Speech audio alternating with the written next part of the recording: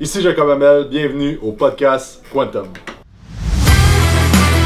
Sérieusement, là, pour une semaine pour la perte de gras, là, sérieux, ça existe pas. là.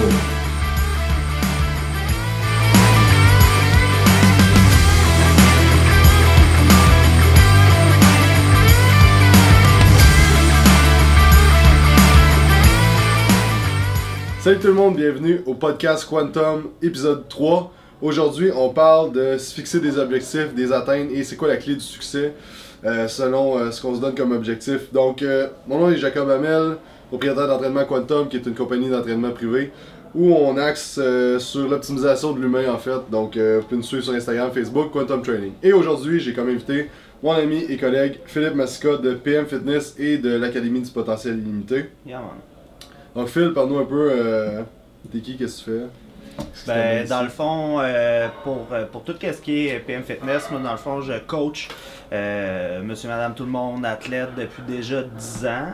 Euh, la compagnie, ça fait 4 ans que ça existe, ça va super bien.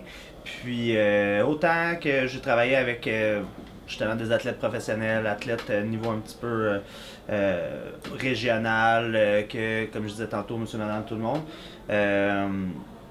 La compagnie a vraiment bien évolué là, depuis le début. Puis euh, là, récemment, depuis bientôt un an, je, je suis cofondateur à l'Académie du potentiel illimité.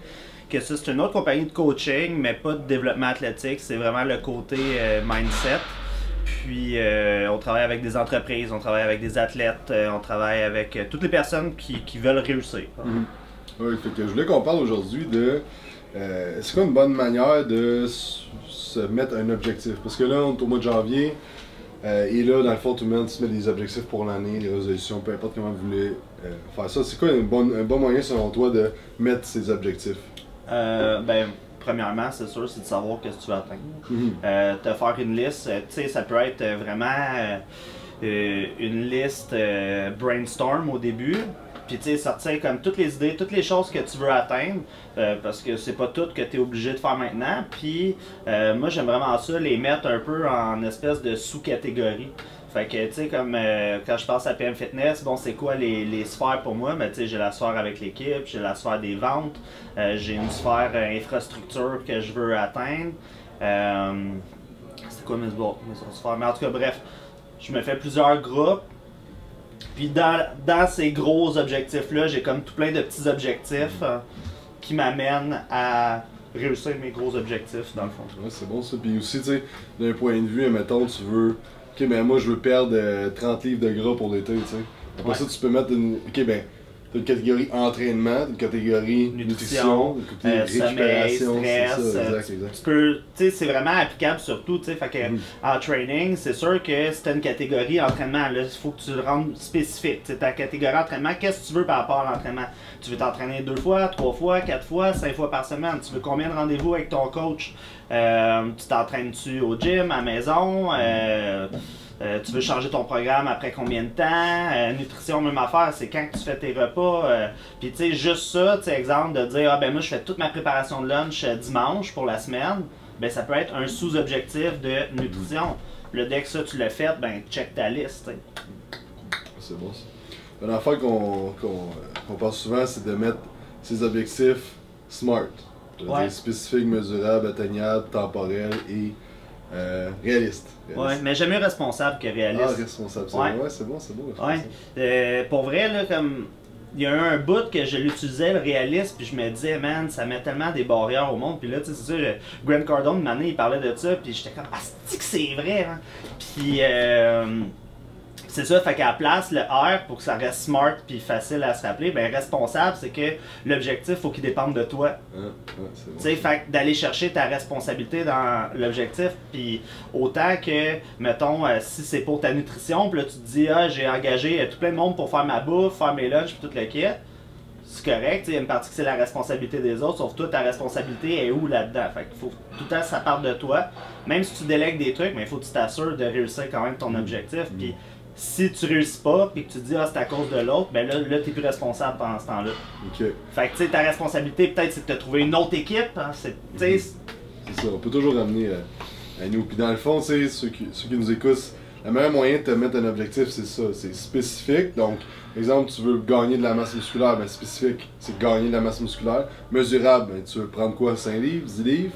Ouais, faut tu une façon de, de savoir que. C'est la, fa- la fameuse question comment tu sais que tu as réussi? Exact, exact. Tu sais, parce que, mettons, t'as du monde qui dit Ah, mais moi, je veux me sentir bien. Mhm. Mais comment tu mesures ça, se sentir Exact. bien, tu sais? Euh, mais si, mettons, c'est une personne qui est vraiment sensorielle, ben, tu sais, de 1 à 10, tu te sens comment aujourd'hui? Là, à combien tu veux te rendre? Tu peux le mesurer aussi de cette façon-là. C'est sûr, c'est un peu moins concret que si euh, c'est des chiffres, euh, tu sais, mettons, euh, tes pinces de gras, ton poids, etc. Mais de tout combiner ça ensemble, si tu peux mesurer de plusieurs façons, autant ton bien-être que tes stats, ben là, tu as une bonne façon de garder ta motivation vu que tu peux traquer Ouais, exact.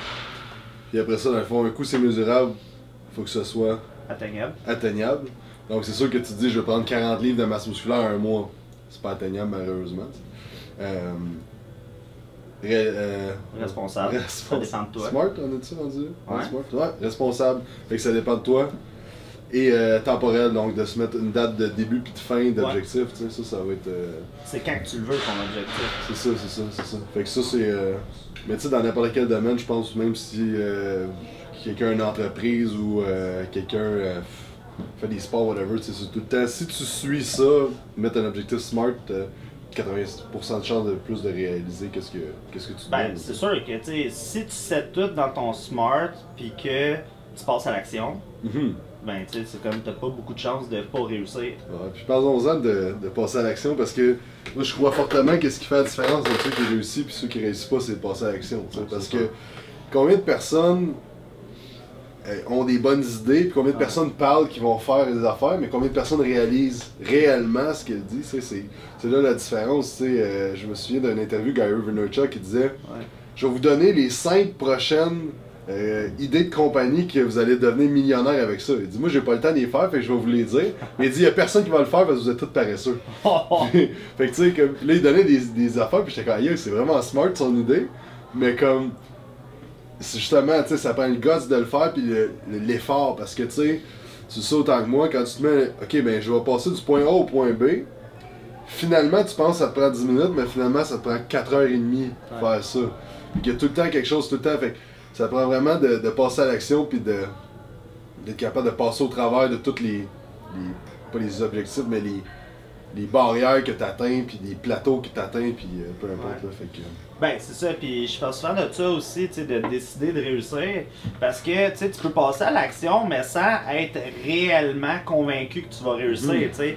Tu peux le vouloir, mais tu sais, t'as peut-être pas encore décidé que tu vas réussir, fait que tu vas trouver une façon de faire des actions qui vont faire que tu vas pas nécessairement atteindre ce que tu veux, tu sais. exact. Fait que c'est comme être prêt à tout, tu sais, pour, euh, pour faire ton objectif, hein. Parce que souvent, le monde, ils, ils vont s'auto-saboter, puis quand que ça va mal, ils vont se dire Ah ben je le savais. Je savais que ça allait finir de ça. même. Parce que là, ils se protègent en se disant Ah ben je vais pas trop me donner, comme ça, si ça plante, je vais pas être tant déçu, puis je vais. Mais Ouais, c'est- mais ça, c'est- ça c'est quelque chose à être conscient de nos euh, patterns d'auto-sabotage, la petite voix là, interne qui, des fois, dit Ah, tu sais, peut-être t'es mieux pas. ouais.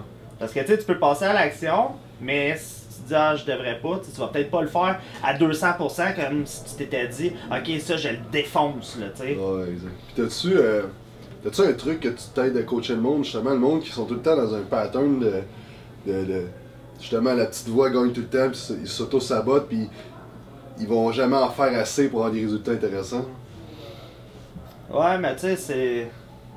C'est- niaiseux, mais c'est souvent comme à quel point que tu veux que ça change, tu sais, à quel Mhm. point tu veux que ça se passe. Parce que, tu sais, j'ai des clients, là, des fois, puis. En tout cas, j'ai j'ai des images en tête. Mais tu sais, attends, j'ai des clients qui vont venir, puis ils vont faire leur éval euh, tous les mois, tu sais, comme qui vont avoir des résultats comme so-so. Euh, puis tu sais, ils savent exactement pourquoi, tu sais, comment, tu sais, finalement, euh, j'ai viré des brosses, euh, je suis allé au resto comme euh, quatre fois plus que qu'est-ce que j'étais supposé. Puis, ils aimeraient ça que ça descende plus le gras, mais de l'autre côté, ils sont quand même confortables Mm. dans ça. Puis le fait de venir faire leur rencontre, ben ça les motive quand même. Sauf que finalement, ils restent sur place, tu sais. Ouais. Juste parce que euh, ils sont bien, dans le fond. Ouais, Même si ils- sont bien dans ce qu'ils ils veulent atteindre quelque chose, mais sont comme trop bien pour faire les changements nécessaires pour atteindre ça. Je pense aussi que des fois, les gens se mettent une pression sociale. Dans le fond, je dis les gens, mais je m'in- je m'inclus là-dedans. Là. Des fois, on va se mettre une pression sociale.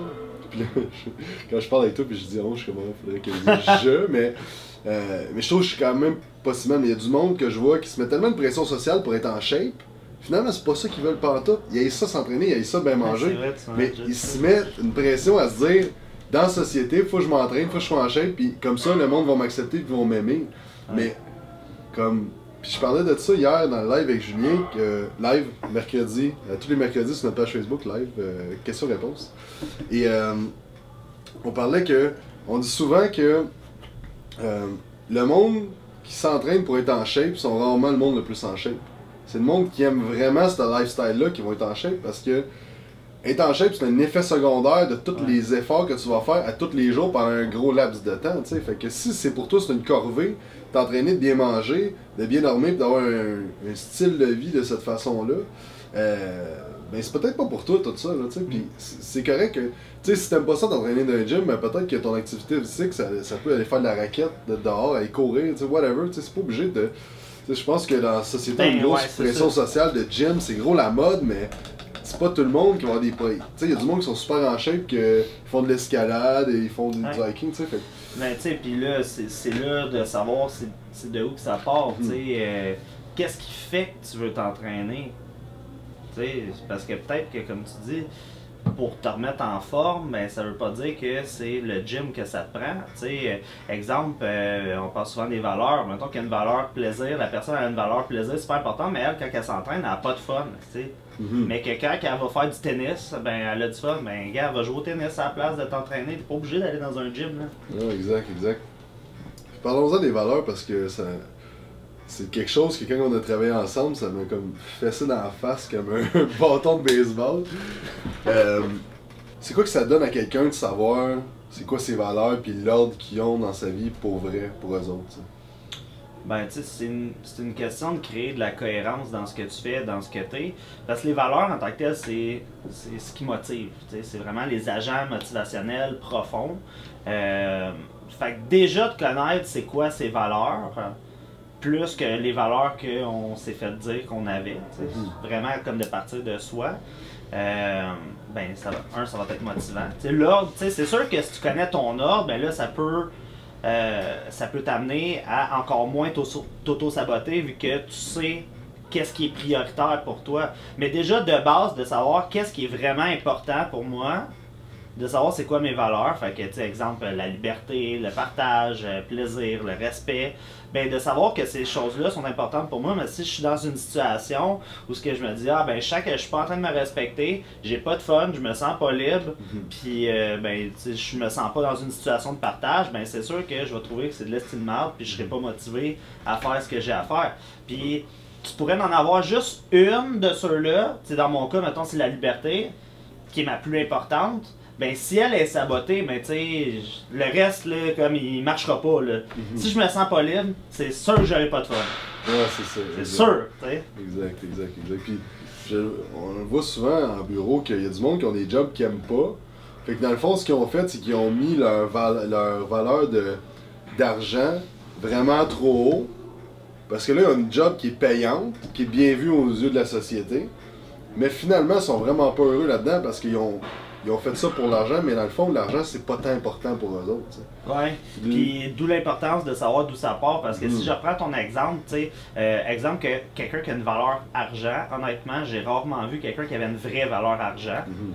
Parce que l'argent en partant, c'est pas responsable, c'est à l'extérieur de toi. Mhm. Fait que si tu mets une valeur, exemple, une valeur sécurité, mais que c'est la sécurité financière, tu mets ta sécurité, donc ton état interne de sécurité, dans quelque chose qui est à l'extérieur de toi. Fait que si tu l'as pas cet argent-là, tu seras jamais en sécurité. Mhm. Fait que euh, la personne qui. euh, C'était quoi, t'avais dit la valeur? Mais, mettons, sa valeur. Argent, c'est ça.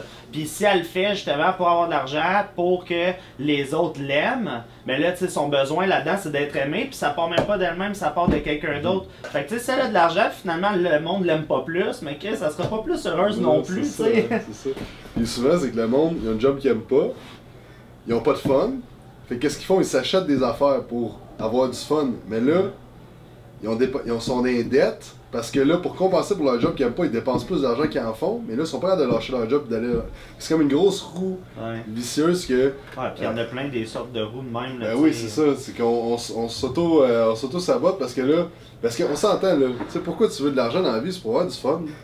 Tu sais, il y, a personne que, tu sais, Tim Ferriss, il dit souvent dans ses livres, le but, il y a personne qui fantasme à avoir un million dans son compte de banque.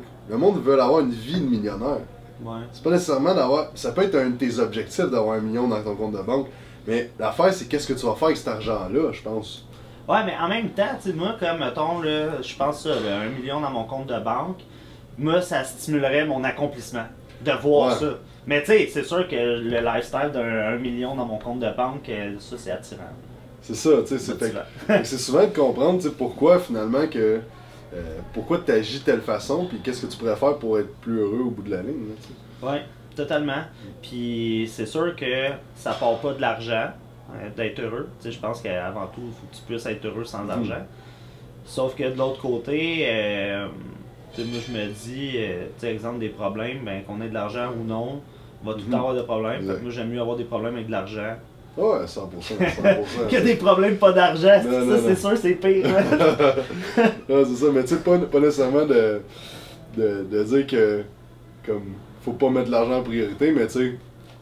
Je pense que c'est rarement ce qu'il faut mettre en priorité. Ah, 100% mais si, d'accord. si c'est important pour toi d'évoluer, ben là, l'argent va suivre, tu sais. Fait que, Ouais. Ça, c'est juste plate. Des fois, j'en rencontre des clients que. Tu sens qu'ils sont vraiment pas heureux dans leur job, mais tu sens que la façon qu'ils te parlent, ils sont pognés dans un de.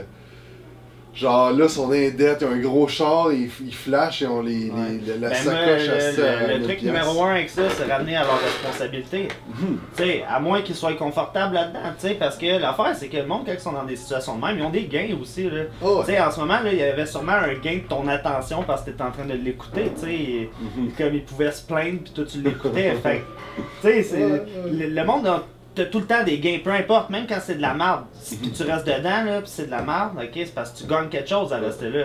Puis sinon, mais si t'es pas content, Chris, ta responsabilité est où? hein? Mhm. Passe à l'action, fais les changements que tu veux. Change de char, hein, tu sais, comme fais quelque chose. Exact, exact, exact. Fait que souvent qu'on dirait que tu te dis, mais voyons, le monde, je pense, sont pas tannés. Ils sont pas rendus au point où ils sont vraiment tannés pour changer. Ben, c'est ça, comme on parlait tantôt, euh, euh, une des affaires, c'est que si la personne elle est confortable puis elle veut pas vraiment que ça change, ben tu sais, elle va faire des efforts à moitié puis Ouais, elle va être ça. jamais plus que ça stimulée à, à aller à beaucoup plus. Ouais, exact, exact. C'est quoi selon toi les clés pour avoir du succès? Soit peu importe ton objectif. là. Ben, tu sais, pour vrai, il y en a tellement plein, là, mais j'en ai parlé tantôt, là, décider de réussir, là, euh, comme de, de s'assurer d'être prêt à tout faire, pour, euh, pour réussir son but, moi je crois beaucoup euh, au, au sacrifice pour atteindre certaines choses, moi je crois qu'on peut tout avoir, tout est possible à avoir, quand le monde dit ah, on peut pas tout avoir dans la vie, je crois pas ça, sauf que moi ma croyance c'est que des fois il faut que je sacrifie quelque chose pendant un certain nombre de temps pour atteindre, pour obtenir ce que je veux. Puis après ça, aller rechercher, puis balancer, euh, balancer les choses, tu sais. Euh, fait que c'est ça, décider de réussir, faire attention aussi à la petite voix, comme on parlait tantôt, là, les croyances qui nous limitent, hein, les choses qu'on se dit euh, qui, qui nous ralentissent. Euh, puis tu sais, des fois, c'est des, des croyances, dans le fond, qu'on croit même pas. Tu sais, ça peut être une affaire que ma- mon père il a dit quand j'étais jeune ou que euh, j'ai entendu d'un ami quelque chose, puis que inconsciemment, je l'ai enregistré, puis là, tu sais, j'agis en fonction de, Mhm. de cette affaire-là, de cette croyance-là, puis que finalement, tu sais, ça me nuit. Ça. Au niveau des croyances, ça fait passer, tu sais.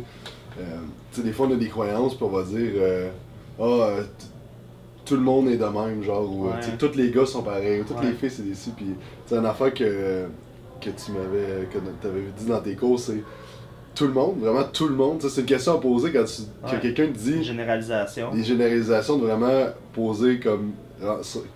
faire en sorte que la personne se rende compte que non, dans le fond, c'est vraiment qu'elle a une idée que tout le monde est de même, mais c'est pas vrai que tout le monde est comme ça, tu sais. Ouais, puis tu sais, il y, en a toutes sortes là, de- d'altérations. Tu sais, C'est comme des filtres de perception. Fait que de dire que tout le monde est comme ça. C'est-tu réellement tout le monde qui est comme ça?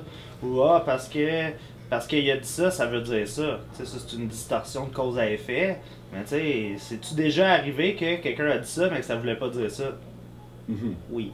Mm. Exact. Tu sais, euh, ah, il pleure, fait que ça veut dire qu'il est triste. Si tu déjà arrivé que quelqu'un a pleuré puis que finalement il était pas triste? Mm.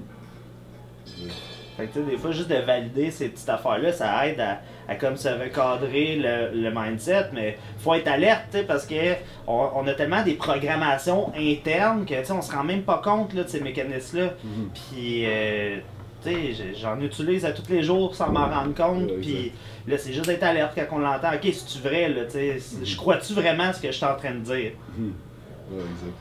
Si t'aurais une troisième clé pour, euh, pour le succès, ça serait quoi? C'est d'aimer ce que tu fais, euh, d'aimer euh, d'aimer le processus de, de ce que tu veux atteindre. Même si il peut y avoir euh, des fois des inconforts, comme je parlais, des sacrifices qui s'intègrent dans le fond dans ton parcours, c'est d'apprendre à aimer ce parcours-là. Même principe, les gens qui font des compétitions, les, les gens qui ont des gros objectifs, ben, quelque part là-dedans, il faut qu'ils apprennent à aimer le processus Mhm. pour s'assurer de réussir. Donc merci à tout le monde d'avoir écouté. Vous pouvez nous suivre sur Instagram, Facebook, Quantum Training, YouTube aussi. Euh, et Philippe, Yes, sur euh, PM Fitness Canada, Facebook, Instagram et euh, Académie du potentiel illimité. Donc euh, Philippe aussi donne des conférences sur l'évolution personnelle. Et dans le fond, allez voir ça sur sa page Académie du potentiel illimité. Ouais, on a aussi- un petit livre, hein. On a sorti un petit e-book euh, dernièrement, 42 pages. Euh, ça s'appelle 7 clés pour manifester la vie que vous méritez. Donc allez télécharger ça, c'est gratuit. Alright, on se voit la semaine prochaine.